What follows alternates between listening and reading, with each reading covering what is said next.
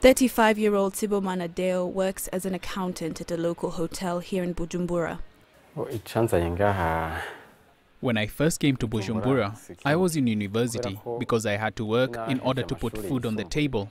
I took up a job as a teacher while still in school. Then I got this job when I graduated. Since April 2015, jobs have been hard to come by. Sibomana counts himself lucky. When the riots were going on, I was here at the hotel, just watching. Life was tough then.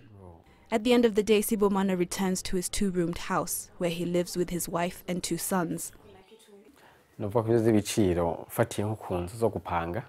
Life has changed since then. Before, a two-roomed house like this would cost about 80,000 Burundi francs. Today, that price is what you get for one room. Though poor, Burundi was known to be one of the cheapest countries to live in within East Africa.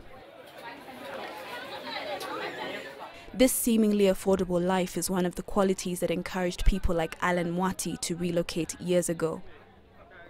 Now, because of uh, uh, uh, political instability, I would say that, uh, you know, so there has been a reduced uh, movement of people in terms of, uh, you know, trying to move with their businesses. Yeah, especially, of course, we need to understand the fact that uh, most Burundians uh, get uh, their commodities either from Tanzania and, and, and Uganda. So there has been a, a, kind of, you know, that movement has been uh, affected. More than a year since the political crisis, Bujumbura is slowly getting back on its feet. There is relative security. However, average Burundians are finding it very difficult to afford basic commodities.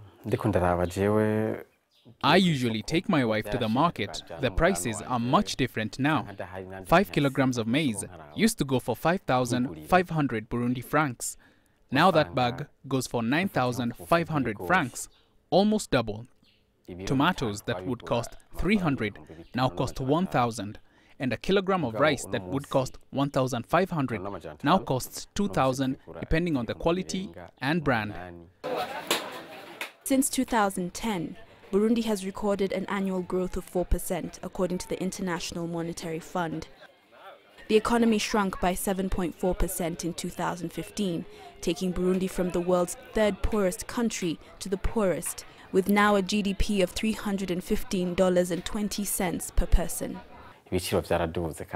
I'm lucky I have a job.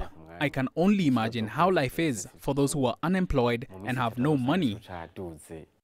In late 2016, the government announced the tax collection rose by 23% in November compared to the same period in 2015, exceeding initial forecasts.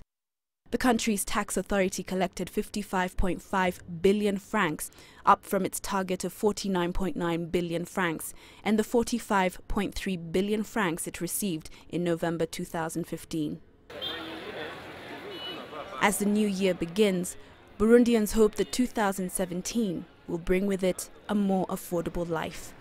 Kathryn Omwandho, CGTN, Bujumbura, Burundi.